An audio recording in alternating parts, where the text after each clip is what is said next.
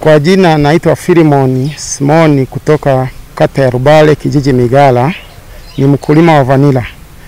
E, kwa ufupi mimi mkulima wa vanila nilipata changamoto baada ya kulima vanila na kuanza kuiuzia shirika langu la Mayawa,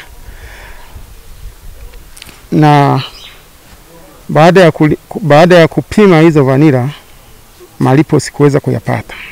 Nilipima vanila kuanzia tarehe tano mwezi wa tano na nilikuwa napeleka kivipindi mpaka tarehe tarehe nne mwezi wa saba nikawa nimemaliza kupima hizo vanila, lakini nikawa nasubirisha kwamba nitapata hela, lakini haikuwezekana kupata hiyo hela.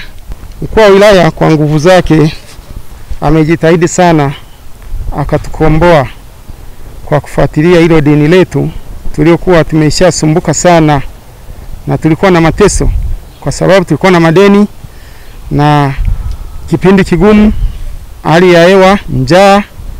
Tumepata athari za kupambana na watu waliokuwa wanatulindia mashamba ya vanila.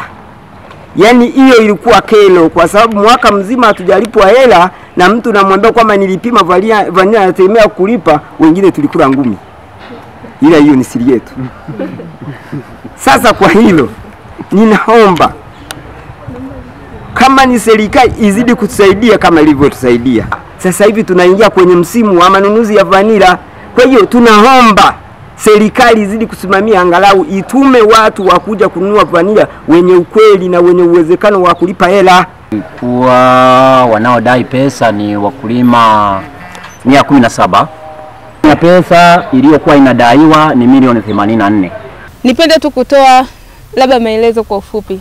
Hii imetokana na utaratibu wa serikali ya awamu ya tano, kama ambavyo tunafahamu kwamba serikali ya awamu ya tano ni ya wanyonge na imelenga, moja kati ya vitu ambavyo inafanya ni kuhakikisha kwamba yule mwananchi wa chini hapati shida wakati anafanya shughuli za kujitafutia kipato chake cha kila siku.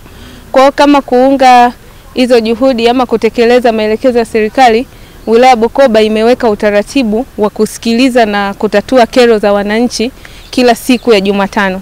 Kwa kuna halmashauri mbili. Jumatano hii tunapokuwa halmashauri ya manispaa Bukoba, Jumatano inayofuata tunakuwa halmashauri ya wilaya ya Bukoba. Kwa wananchi wanafika pale, anakuwepo mheshimiwa mkuu wa wilaya yeye mwenyewe pamoja na baadhi ya wajumbe wa kamati ya usalama kwa pamoja wanasikiliza. Kwa hiyo hii kero ilifika kwa mheshimiwa mkuu wa wilaya kwake mwenyewe na akaisikiliza, ilikuwa ni mwezi wa nne mwaka huu, na wakaeleza namna ambavyo wamekuwa wamehangaika na malipo yao kutoka kwa Mayawa kwa mwaka mzima, kama ambavyo umewasikiliza wao wenyewe wameeleza. Kwa hiyo ndo akawa wameweza kuishughulikia. Sitasema sasa ni hatua gani alichukua, ila nafikiri matunda ndo ya muhimu kwamba wamelipwa fedha zao zaidi ya milioni themanini na mbili ambazo walikuwa nadai katika hizo kata saba na vijiji za kumi na mbili. Nitoe rai kwa wanaonunua wote bidhaa kutoka kwa wakulima mbalimbali. Hawa ni wa vanila, lakini tuna kahawa pia huku Kagera. Hemo basi wafuate taratibu zile ambazo wanakuwa wamewekewa na serikali, wajali wakulima kuwalipa fedha zao kwa wakati kama ambavyo tunakuwa tunawaelekeza. Kama vanila ambavyo tunajua hapa inahitaji gharama kubwa sana kuiwekeza, kuilima, wanahitaji ulinzi, maana inaibiwa na bado pia na gharama yake ni kubwa. Alafu leo hii anakuja na kukabidhi bure, hujamlipa chochote.